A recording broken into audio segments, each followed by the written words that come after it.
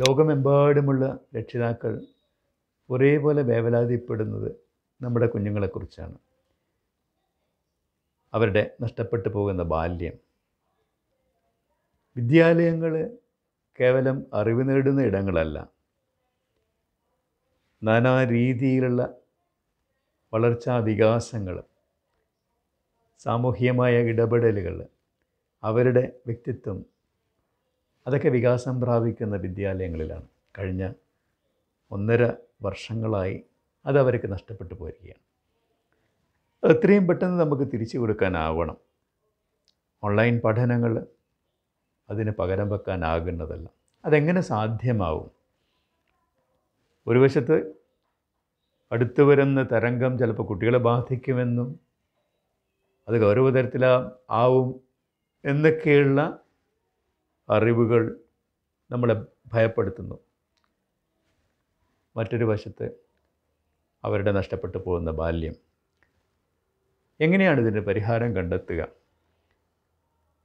സാമൂഹ്യ social vaccine എന്ന് പറയുന്നത് നമ്മുടെ കോവിഡ് അപ്രോപ്രിയേറ്റ് ബിഹേവിയറിലൂടെ നമ്മൾ ഇത്രയും കാലം പിടിച്ചു നിന്നു. ഇപ്പം നമുക്കൊരായുധം കൂടി കിട്ടിയിരിക്കുന്ന വാക്സിൻ.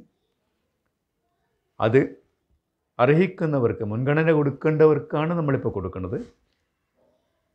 അങ്ങനെ ആലോചിക്കുമ്പോൾ ഇരുപത് വയസ്സിന് താഴെയുള്ള കുട്ടികൾ ഈ മുൻഗണനാ പട്ടികയിൽ ഏറ്റവും താഴെയാണ്. കാരണം അവർ അസുഖം പകർന്നു കിട്ടിയാൽ അടിപെട്ടു പോകാനുള്ള സാധ്യത വളരെ വളരെ അപൂർവമാണ് എന്നുള്ളൊരു കാര്യം. ഇപ്പോൾ തരംഗത്തിൽ വലിയൊരു എണ്ണം കൂടുതലുണ്ടായാലും അതേക്കുറിച്ച് വേവലാതിയുടെ ആവശ്യമില്ല. അതുകൊണ്ട് തന്നെ നമ്മൾ ആദ്യം മുൻഗണന കൊടുക്കുന്നത് മറ്റുള്ളവർക്കാണ്. കുട്ടികൾക്ക് പലപ്പോഴും വാക്സിനേഷൻ രണ്ടാം ഘട്ടത്തിൽ രണ്ടായിരത്തി ഇരുപത്തൊന്നിന്റെ ആദ്യ പകുതിയിലൊക്കെ നമ്മൾ പ്ലാൻ ഇടുന്നുണ്ടാവുള്ളൂ. അതേക്കുറിച്ച് ആലോചിക്കുമ്പോൾ രക്ഷിതാക്കൾ പലരും ചോദിക്കും കുട്ടികൾക്ക് നേരത്തെ വാക്സിൻ കൊടുക്കണ്ടേ? അല്ലെങ്കിൽ എപ്പോഴാണ് സ്കൂൾ തുറക്കുക? സ്കൂൾ വിദ്യാലയങ്ങൾ തുറക്കുന്നതിന് വേണ്ടി ഇരുപത് വയസ്സിന് താഴെയുള്ള എല്ലാവർക്കും വാക്സിൻ കൊടുത്തുകൊണ്ട് സുരക്ഷിതരാക്കുന്ന ഒരു കാലം വരെ നമ്മൾ കാത്തിരിക്കേണ്ടതില്ല. അതിന്റെ കാരണം ആദ്യം പറഞ്ഞത് തന്നെയാണ്. ഇവർക്ക് അസുഖം വന്ന പ്രശ്നങ്ങൾ ഉണ്ടാവാനുള്ള സാധ്യത ഏറെ കുറവാണെന്നുള്ളൊരു യാഥാർത്ഥ്യം. അതേസമയം നമ്മൾ ഭയപ്പെടുന്നത് മറ്റൊന്നാണ്. ഇവരിലൂടെ അസുഖം പകർന്നു കിട്ടാൻ സാധ്യതയുള്ള അവർ. നമ്മൾ ആദ്യം ലക്ഷ്യമിടേണ്ടത് അവരെയാണ്. നമ്മൾ ഈ പറയുന്ന പതിനെട്ട് വയസ്സിനും മേലെയുള്ളവരുടെ ആദ്യം അറുപതിന് മേലെ പിന്നെ നാൽപ്പതിനും അറുപതിന് മേലെ പിന്നെ പതിനെട്ട് വയസ്സിന് മേലുള്ളവരുടെ വാക്സിനേഷൻ നമ്മൾ ഏതാണ്ട് പൂർത്തീകരിക്കുമ്പോഴേക്കും ഇവരിലൂടെ രോഗം പകർന്നു കിട്ടാൻ സാധ്യതയുള്ള എല്ലാവരും പ്രതിരോധ ശേഷി നേടിയിരിക്കും. അതിലേറ്റവും പ്രാധാന്യമുള്ള അധ്യാപകരാണ്. അധ്യാപകരുടെ കാര്യത്തിൽ ഒന്നുകൂടി നമ്മൾ മുൻകരുതലെടുത്തുകൊണ്ട് അവർക്ക് ഒരു മുൻഗണന കൊടുത്തുകൊണ്ട് അവരെ പ്രതിരോധം സൃഷ്ടിക്കണം എന്നുള്ളത്. അപ്പോൾ സ്കൂൾ നമുക്കിപ്പോൾ ഈ വർഷാവസാനം തുറക്കണമെങ്കിൽ അതിനുശേഷമല്ലേ കുട്ടികൾക്ക് പ്രതിരോധം കൊടുക്കാനാവുള്ളൂ? അതെ. പക്ഷേ തുറക്കുന്നതിന് മുമ്പ് ഒരു കാര്യം ചെയ്യേണ്ടതുണ്ട്. ഇരുപതിന് താഴെ പ്രായമുള്ള ഏകദേശം എൺപത്തഞ്ച് ലക്ഷം കുട്ടികൾ ഉണ്ട്. അവരിൽ പ്രതിരോധശേഷി കുറഞ്ഞവർക്ക് നമ്മൾ പ്രതിരോധം കൊടുക്കേണ്ടിയിരിക്കുന്നു.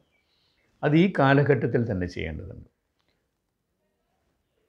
രണ്ട രണ്ടായിരത്തി ഇരുപത്തി രണ്ടിന്റെ ഒന്നാം പാദത്തിൽ അല്ല ഈ കാലഘട്ടത്തിൽ തന്നെ ഇരുപതിന് താഴെയുള്ള അടിപിടാൻ സാധ്യതയുള്ള പ്രതിരോധശേഷി കുറഞ്ഞ ഏതാനും കുട്ടികൾ.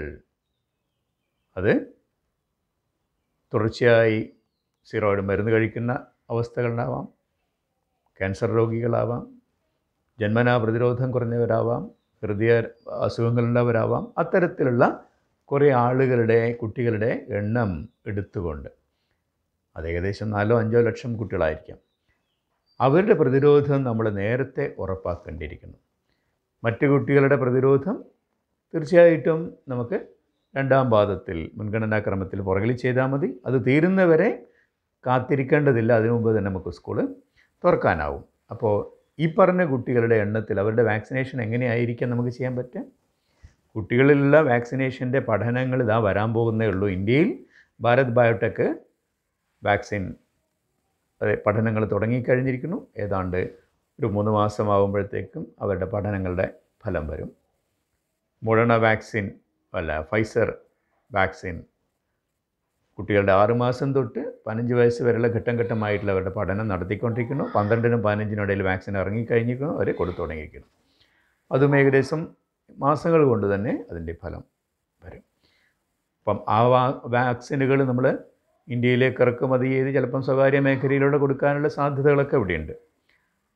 സൗജന്യമായി കൊടുക്കാനുള്ളത് ചിലപ്പോൾ സാമ്പത്തികമായി നമുക്ക് നമ്മുടെ രാജ്യത്തിന് സാധിക്കുമെന്ന് തോന്നുന്നില്ല. എങ്കിലും ഈ ചെറിയ ഒരു എണ്ണം കുട്ടികളുടെ വാക്സിനേഷൻ നമ്മൾ